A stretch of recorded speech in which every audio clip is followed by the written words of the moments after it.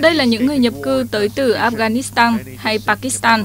Vì chiến tranh và bạo lực, họ đã buộc phải rời bỏ quê hương với mong muốn tìm kiếm một cuộc sống hòa bình và tốt đẹp hơn ở châu Âu.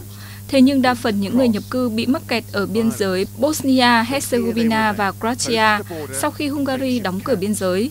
Rất nhiều người trong số đó đã bị cuốn vào vòng xoáy bạo lực, mắc kẹt tại những khu lều tạm thô sơ như thế này.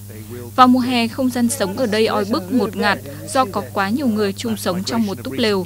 Nhưng vào mùa đông, khi nhiệt độ xuống dưới mức 0 độ C, cuộc sống của những người nhập cư mới thực sự gian khổ, thậm chí tử thần luôn rình rập họ. Chúng tôi sống rất khổ, những căn lều tạm bị quá tải, chúng tôi không có giường để nằm, phải nằm dưới nền đất đá. Những trang trại cho động vật tại Slovenia hay Croatia thậm chí còn được ấm áp, thoải mái hơn chúng tôi.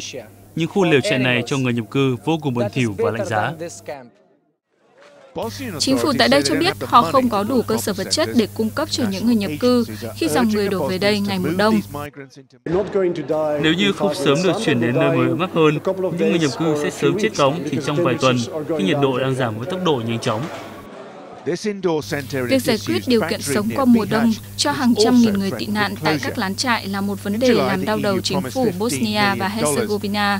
Mặc dù các giải pháp trước mắt đã được đưa ra như dựng lều tạm trong các nhà máy, cung cấp màn quần áo, lò sưởi, thế nhưng do số lượng người nhập cư quá lớn nên không đáp ứng đủ nhu cầu sinh hoạt của họ.